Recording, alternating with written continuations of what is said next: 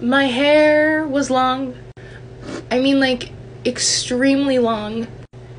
It was really hard to manage. It had a lot of heat damage and was honestly just too much. So I decided to chop it.